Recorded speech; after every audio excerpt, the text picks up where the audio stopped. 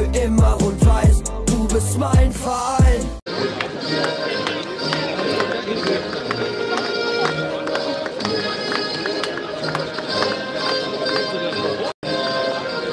Tor mit der 23 Jan Röther. Mit der 8 Kevin Kohlberg. Gut. Ein besonderer Gruß geht ebenfalls raus. Niederrhein-Pokal. Los geht's. Dienstlaken hat Anstoß. Erste Minute läuft. Da wird, ist der Pfiff. Jetzt wird der Freistoß getreten und landet im Tor. Das ist das 1 zu 0 für Essen. Torschütze ist. Wer ist der Torschütze? Guten Hunger, Noel. Torschütze ist das Thomas Eisfeld gewesen. 1 zu 0. Ich schätze Thomas Eisfeld. Jetzt brilliert er erst gegen Münster und macht jetzt sogar auch noch im Dienstlaken. Funktioniert den zum Stürmer rum, falls das jemand von RWE sieht.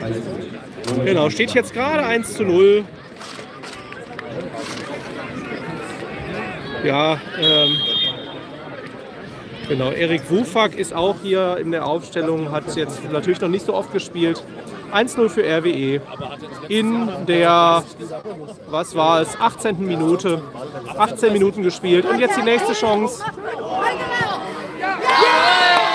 Direkt Doppelpack. Da konnte ich jetzt aber wirklich nicht sehen, wer es war. Wer wird beglückwünscht? Äh, schau mal, wer gerade beglückwünscht wird. Da gehen die Leute zu. War der Brune.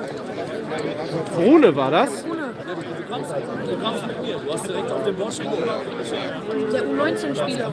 Okay, Brune, U19-Spieler hier von uns, hat wohl das Tor gemacht. Jetzt steht es direkt 2 zu 0 für den RWE. 2 zu 0 für RWE. Nach Toren von Brune, nicht Brumme. Und ja, jetzt sollen wir schnell hier durchspielen. Eventuell mal ein bisschen Platz da. Das könnte man doch nutzen, wenn man jetzt das nicht. Jetzt Schuss und Tor. 3 zu 0. Und das war jetzt Wonic diesmal. Wonic mit dem Tor. Guck, der kann was. Jo Leute, willkommen zurück. So, jetzt nicht ein Angriff für, äh, für Dienstlaken. Die Zebras führen angeblich, aber ich, wie gesagt, ich kann das gar nicht verfolgen. Ich kann nur den Chat verfolgen. Hier, den kriegt nämlich eingeblendet. Auf Google steht, das Ergebnis wird erst nach dem Spiel. Bei Google, ja, aber vielleicht gibt es über MSV-Forum oder so. Tor. Das war Jan Friesner, den fand ich schon immer gut. Und den jungen Dabro, wenn du das siehst, Dabro, den kannst du auch mal in der Liga einwechseln. Äh, den fand ich schon in den Testspielen super. Ich glaube, in Braunschweig hat, der hat auch in Braunschweig gespielt, ne, oder? Jan Friesland hat auch in Braunschweig gespielt. Auch gegen Adler Frintrop, klar, jetzt kein namhafter Gegner. So, hier spielt jetzt Rot-Weiß über die linke Seite, leider die von mir aus gesehen entfernte Seite. Ja, ich versuche jetzt zu zoomen, wie gesagt, das ist ein bisschen schwierig, aber jetzt machen wir das mal. Wenn der Ball da auf links ist. Rückpass auf Felix Wienand. Ball auf Mustiko Roma. Und der Ball jetzt, langer Ball hier. Aber der fällt hin, der Dienstlagner. Und Ball kommt rein. Tor für Rot-Weiß 5 zu 0. Und wer wird hier bejubelt? Wonic. Jetzt wird hier gesagt, Wonic hat das Tor gemacht. Jetzt platzt der Knoten richtig bei Wonic. 0 zu 5. Jetzt durch Leonardo Wonic.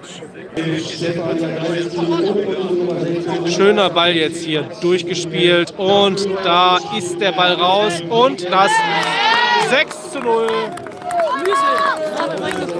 Müsel eine Minute auf dem Platz. Er freut sich nicht mal. Mensch, Torben. Auch gegen einen Bezirksligisten kann man mal jubeln, wenn man dann ein Tor macht. Hat sich super gemacht, meiner Meinung nach. Müsel, sagt hier der liebe Junge, äh, hat sich super gemacht.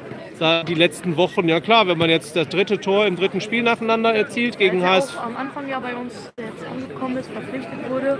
gegen HSV Aue 6 zu 0 jetzt für Rot-Weiß. Also ich lehne mich jetzt weit aus dem Fenster. Es läuft die 90. Minute. Es steht 6 zu 0 für unsere Rot-Weißen und ich sage gleich, gibt es einen Abpfiff und keine Verlängerung wie in Bocholt, wo man auch bereits führte, zwar nur mit 1 zu 0. Und da ist der Abpfiff. Der Schiedsrichter pfeift ab.